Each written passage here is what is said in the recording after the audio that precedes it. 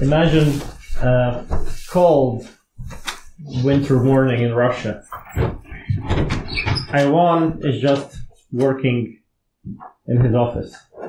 He's a businessman, he's a salesman of sorts. He's a reseller, in fact. He buys products and he sells them. Actually, he sells intellectual property. Stuff you can copy, stuff you can copy legally, stuff you can steal and duplicate.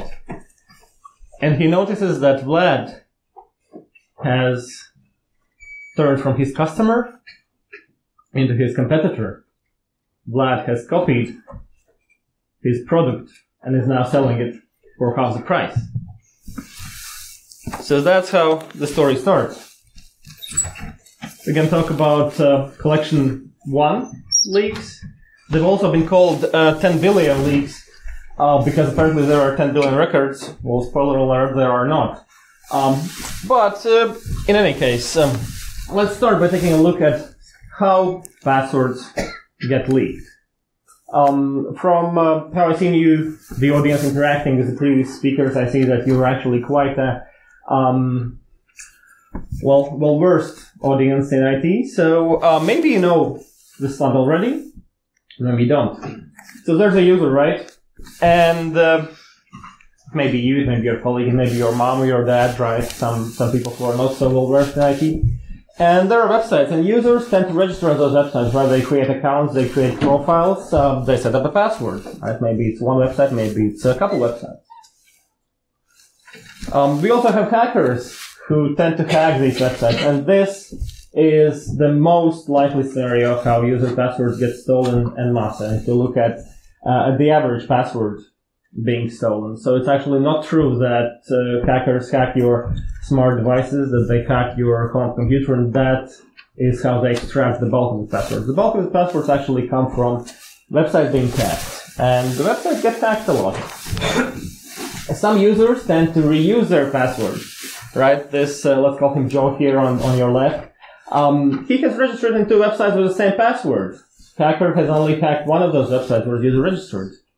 And now they have the password and the email address, which is the identifier used these days, mostly for both the sites, just by hacking the one. Right, what happens next, right?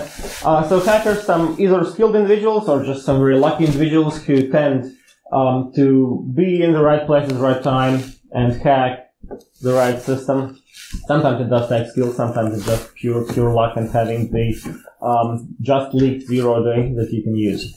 What happens then? What do these hackers do with the data that they have? Well, unless it's an APT campaign or, or governmental run campaign, um, these hackers don't usually hold on to that for long. They don't have a lot of use for that. Actually, the criminal world, criminal world in, in, in computing, um, is quite well structured. It is an enterprise. It is a system of enterprises, as I tried to illustrate by my story in the beginning.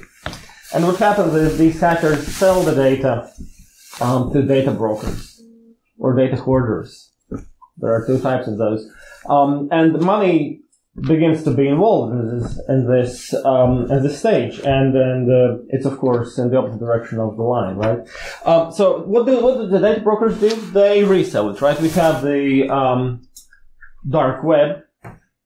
So basically, um, I'm not talking about these gray forms that are available quite easily to um, hackers and researchers alike, but but I'm talking about the dark web where only trusted uh, trusted individuals uh, interoperate. Not to say that there aren't um, some researchers or government agencies in there. And on the dark web, then the sale happens, right? We have multiple buyers. They just just pay a fraction um, of the price that the reseller paid, but they have many clients, so they make a lot of money, right? so that's how, how it happens. Well, sometimes it happens that some of the buyers aren't that honest, right? They're criminals after all, most of them. Uh, so they go back to the market with a cheaper price on that. and sometimes it happens that uh, some of them, for some reason, decide just to open it up and go to um, normal internet, go to you know the traditional web. Maybe maybe not uh, not so available as Collection One is. Right, everyone can download the Collection One list of passwords um, right now. I'm not sure about the legality of that in the UK, but uh, everyone everyone can do that easily. Um, mostly it's not it's not that open. It's in those semi-closed forms, but you can still you can still get them when they get published. So that's basically the um, the timeline of how password leaks happen from users selecting the password to passwords getting leaked. Now I want to talk about uh, the specific case and what happened in the specific case right here with collection one. So this here is a profile of an individual named uh, Corpse um, on one of these uh, not dark web forums. As you can see, the profile has been banned. Um, already at this point, um, he touts himself ethical hacker and coder. That's the guy who was the hoarder for, for collection one and some other collections. Uh, that's the original original hacker who collected these databases. He probably didn't hack any of them, or at least most of them, but he was the original collector, right? And you can actually see uh, from right here that um, he was banned on the 30th of January, and he only registered on the 6th of January, also 2019, by the way. Um, so what happened? This is what happened. Um, he basically created a post of his own stuff on this semi semi closed forum, saying, "Here are my collections. Check them out. Um, you can uh, you can get them from here." Right. Then we also have this. This uh, is by a different guy who goes by the title of Sanix. There was a similar offering by a guy named uh, Clorox, but Sanix was was this uh, more more recognized one. Um, you can see the guy offers. You can't really see the the price here is forty five dollars for lifetime access with free updates. Um, for different uh, combinations of usernames and passwords, it even says here that the type is email colon password, which is totally not true. I spent many, many hours trying to format uh, most of these files to this alleged format, back to this format, and I still didn't succeed fully. Uh, but I got like 95% of, of the data reformatted correctly.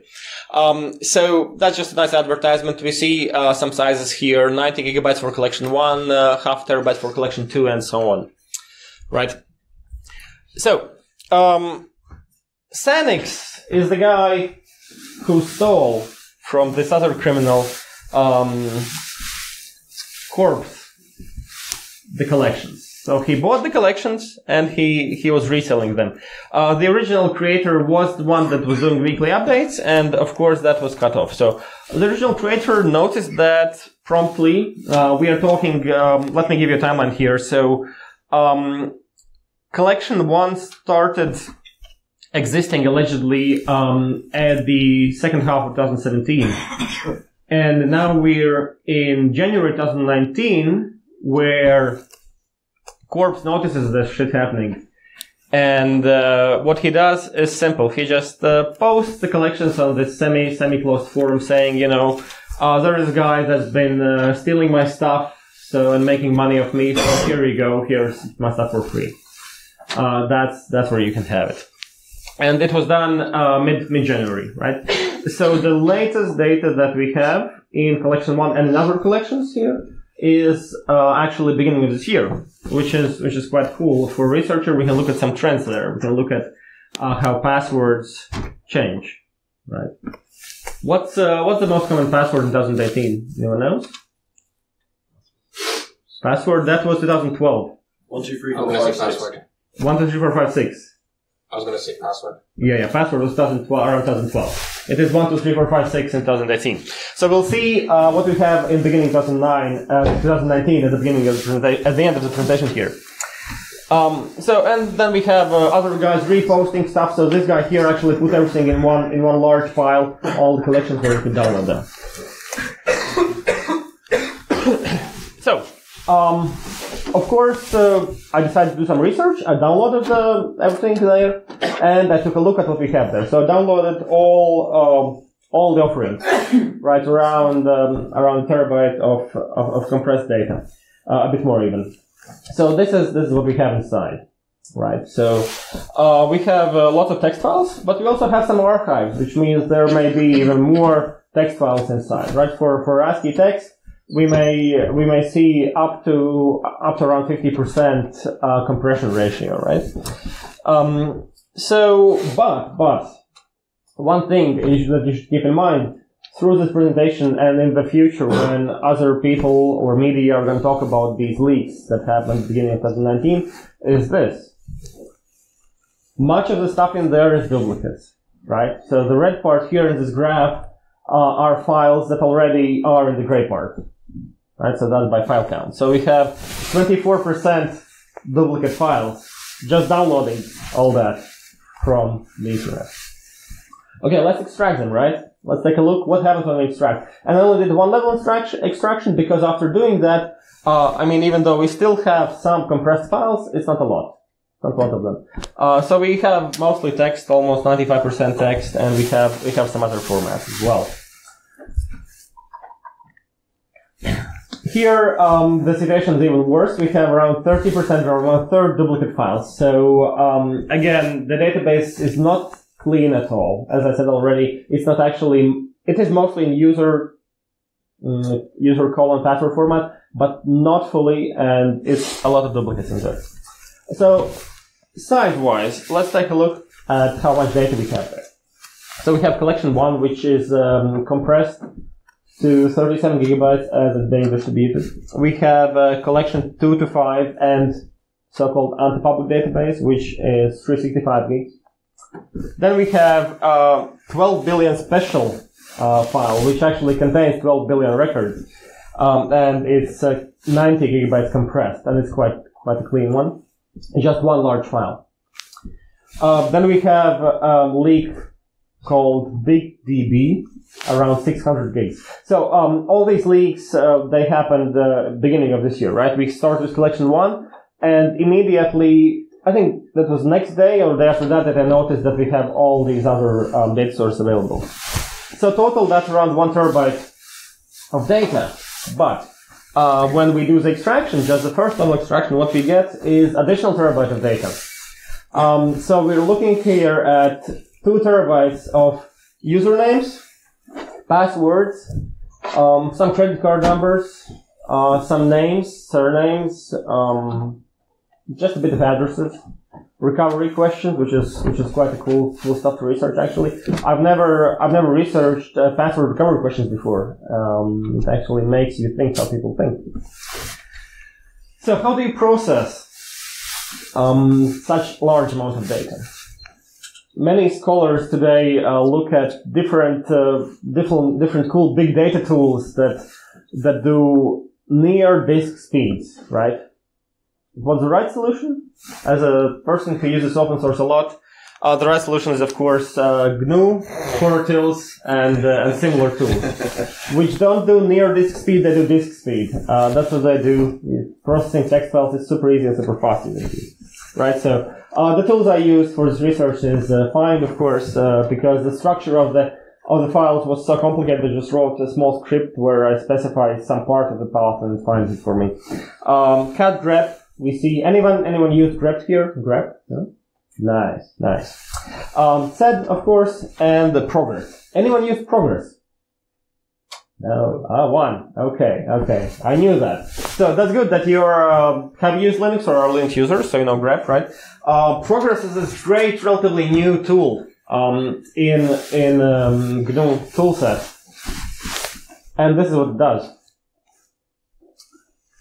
So when you launch it, it looks for processes that have file descriptors open, looks at the files, and gives you progress of reading or writing those files. Which means you don't have to wait without knowing how long you have to wait. It's really cool. You have like your stuff running, and in another terminal you run progress, and you see you see this. So that's that's quite a cool tool when you when you you know limit it on time. okay, but what uh, what I'm looking at here today for this presentation is just collection one, just this uh, 90 gigabytes uncompressed data, not the two terabytes because processing that uh, still is still ongoing. It's the server is still working on that. In collection one, in uh, the media, we can see different numbers. Um, these are numbers that I got, and they will fluctuate by a thousand, maybe more, uh, depending on how clean the data is, or, or how clean you make the data, right? So what I got is 2.8 billion records inside all the files in collection one. 2.8 separate records of um, mostly users and their passwords. Uh, speaking of users, what I got is around 900 million different unique um, usernames. So the previous number was total records, including non-unique. Splitting by usernames, what I have is around 9 million, uh, 900 million usernames. And around 20 million different passwords. Now, the fun part. Let's actually analyze that. Let's start with the usernames, which are mostly, of course, these days, email addresses. Not 100%, and even in collection one, we see usernames that are actual usernames. But luckily for us, there's also a field for email address when the database is leaked fully. And uh, analyzing email addresses by TLD, this is the picture that we get.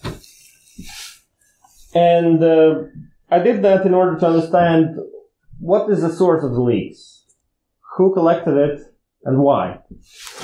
What we can see is that, of course, most records are collected for .com, which is obvious. .com is the most popular domain, the first, uh, the first TLD that we've had. And the second place is Russia, right? So apparently it's Russian hackers hacking Russians. Um, so that's the conclusion that I came to, right? Um, on the third class, we have two TLDs, which are those, .net and .uk, uh, which is uh, interesting. I mean, I didn't, I didn't expect that. I, I had, hadn't finished this picture when, when applying to this conference, so that's, that's not why I came. But, uh, we do see, we do see quite a lot. We also see, um, we also see France and uh, Germany in the top. So basically, it looks like they're mostly concentrated in Europe, but not, not just Europe. Okay, um, let's split it a bit more rough. Let's split it by domains. Splitting by domains, we see the popular email providers, Yahoo, Gmail, Hotmail. Then we see Mail.ru, which is indicative, of course, of uh, Russia being one of the main targets here. For this presentation here in UK, I also did some slides uh, just looking at UK data. So uh, for UK email addresses, this is what we see. We see Hotmail, Yahoo Live, uh, Tiscali, Blue Yonder, and uh, Gmail, and some others. Right, so that's for UK. Now, one interesting thing to look at in uh, leaks and in analyzing uh, rogue data is always governmental data. And of course, I did a split by governmental addresses. And I wanted to see what governmental emails, what governmental domains are we seeing. And these are the most popular domains uh, that belong to, to the government, right? We see some um, Australian ones. Uh, the, the first two are educational ones, which means those are probably just uh, um, governments that have decided not to use .edu and instead use .gov for educational reasons, which means that students and pupils get those domains, which is, you know, and, and then they end up on, on lists like that, which is understandable. But we, we, we do see some interesting ones. Uh, I think, was already mentioned in the press uh, in, in regards to this leak. We have DHS, of course, for um, for for for the US. And one not making top 10 here, top 11 is, is actually IRS, the Internal Revenue Service of, of the United States of America.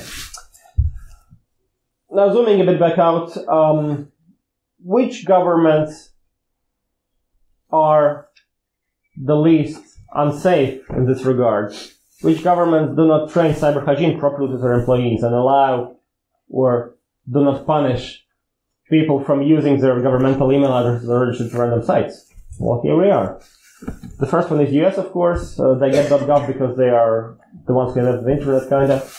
Uh, then we have UK, then we have, um, you know, Austria, Brazil, and, and so on. Um, again, slide specifically for UK, just looking at gov.uk domains.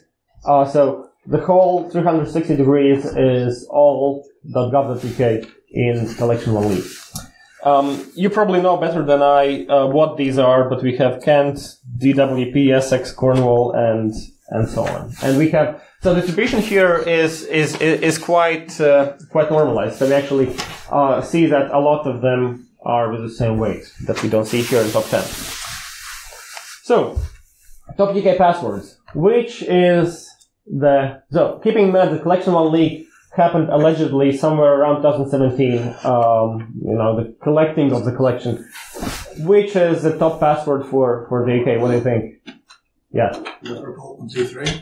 What what? Liverpool, one, two, three. One, one, two, three. That that is relatively good password because the top password is password, but with a large, with a capital letter P. Uh, so it's safer than just using the classical password, just a bit, just a bit. And um, one fourth of a percent is the prevalence of this password in the UK passwords, right? Passwords used by account holders whose email ends in .uk. Um, we also have a bunch of other passwords, of course, uh, the classical one, one, two, three, four, five, six, and we have Liverpool. Yeah, I, I mean, it's a city, right? Or or what? It's a football. Ah, football team. Right, right, right. So that's why we have Liverpool. And uh, uh, tenth position, Charlie, also also not seen in, in in the global top ten. Now, recovery questions is interesting part, as I as I already uh, mentioned. So, what do people actually type in their recovery questions? I remember when I create my accounts, they um, back when I did create accounts, because I had my most of my accounts for for ten years. Um, they they offered you a fixed list of questions. You couldn't type your own, and those questions were so dumb. I never knew what to what to answer. So I always typed none. Don't hack my accounts. Um, but uh, these days, many sites allow you, which is good, uh, to specify your own question. So, an extract of some Russian guys or girls registering their accounts and selecting their recovery questions and answers. The first recovery question: Who are you? That's what they typed, right? That's their recovery question, and the answer they selected is "It's me." uh, then we have Nil. It's a guy's name. Then the answer they select, of course, is yes. Uh, we also have who am I? And obviously the answer is uh, Kamil, uh, also a guy's name. And uh, a bunch of these actually, um, it's apparently it's a low security site because uh, that that I, this is one file I, I pulled this from a specific uh, specific password dump. Uh, it was a bit larger than just passwords as you as you imagine. So um, it's part of a low security site because it allows you to do this, and most users did, did that. They just uh, typed in the same thing for the question and and the answer. So um, now coming to, to the conclusion of this short talk, um, of course we have to talk about what to do in the future um, to to avoid these things. Um, leaks are going to happen. Sites are not perfect. Zero days happen. Mm, just uh, just this year we already had a bunch of zero days. Um, just just finished. We we've seen zero days in browsers, we've zero days in cars. It's gonna it's gonna continue happening. So what we can do as users, easy. First point, of course, do not reuse your password. Do not reuse similar passwords to the ones that you use somewhere else. Right? Do not reuse the passwords that you used in 2017. Uh, obviously choose strong passwords. And um, at least in Latvia, which is where I come from, um, our our government cert is not doing a very good job of teaching people what strong password is. Uh, so what they do, they they just uh, tell you, should mutate some words. So you take dictionary word, you change the, some letters to some symbols and so on, which is of course a dumb idea.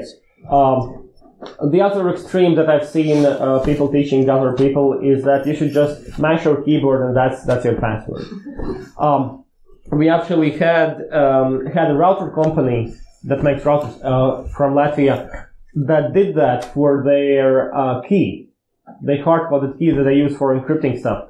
Uh, some guy just mashed a password. I reversed uh, their firmware, got out got out that, map it on the keyboard. You can see two hands going down on the keyboard uh, when you do a heat map of, of, of that string. and that's how they encrypt all the passwords. Anyway, uh, that's also a bad idea. But not just because of mashing, because it's hard to remember. And if it's short, it's relatively easy to crack. Uh, best strong password is a passphrase, meaning uh, it's a sentence. It's long and it's easy to remember. That's a strong password. But, of course, these days we have password managers. If you are kind of person that's inclined to, to trust machines a bit more than me, uh, password managers are a great tool. You generate long, random string of characters, and, and it works. And it's, then it's super secure.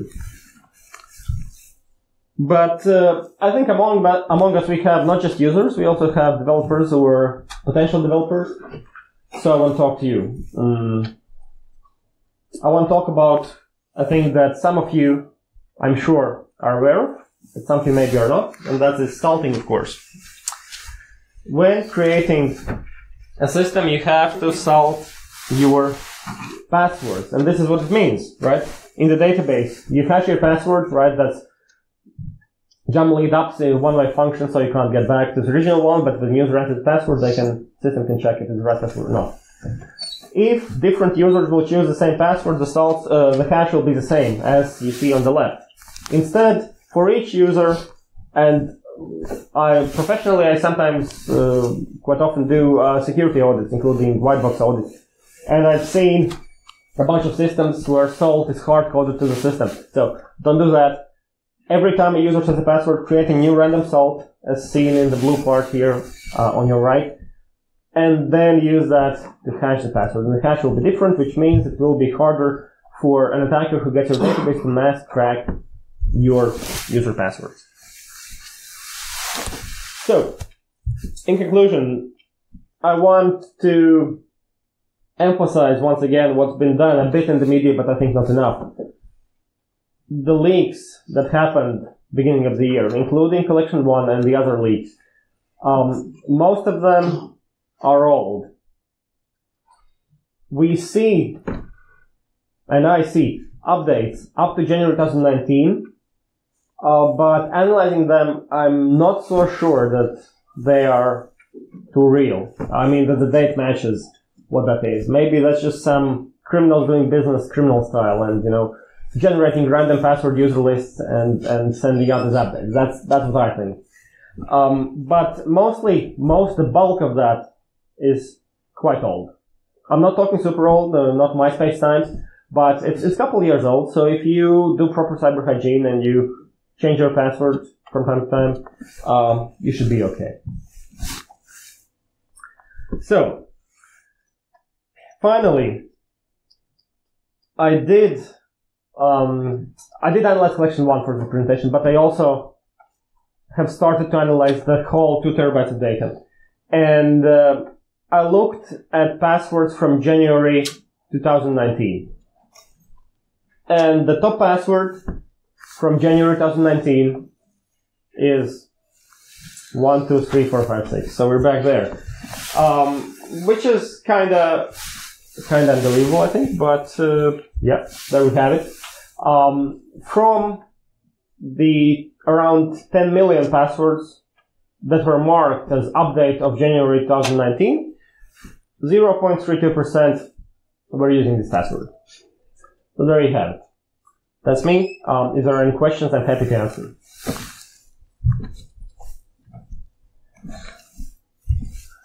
Yeah. Uh, how long are all the passwords that uh, got in that massive uh, two terabytes, how long would it take to get all of them processed? Oh, well, that depends on your processing power. Um, this is this is not a my research is not a paid gig, um, so I don't uh, I'm not interested in spending twenty dollars per hour uh, for for for um, Amazon GPU servers. Um, so for me, I'm looking uh, I'm, I'm, I'm looking at, uh, you know, I think probably um, end of March, beginning of April when, when everything's done. Um, so with my resources, um, it's it's less than less than a month. But once again, it's not it's not it not only depends on the money one invests, it also depends on the kind of research you do. If you just want to know the top password, um, with my resources, I think you can do that uh, in in one day easily. Uh, well, maybe two days on on, on the two terabytes of, of data. Yeah, but uh, do you use uh, GNU? Do you use open source tools? Stream tools, those are super fast. Uh, I mean, those are disk speed. It doesn't matter if it's HDD or um, or SSD. It it runs super fast. Okay, uh, thank you very much for having me.